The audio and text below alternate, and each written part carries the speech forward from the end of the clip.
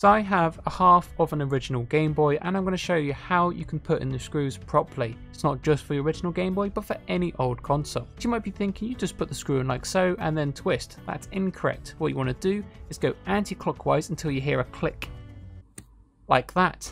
That way you know you've dropped into the same thread as the original screw and then you can screw it up properly. So let's just do that one more time so you can really hear it. There we go, just like that, and then you screw it in. So this uses the same thread as the original one, so you're not making a new thread each time into your shell. This is the proper way to do it. If you enjoyed this short video, don't forget to like and subscribe, and check out my channel for more content.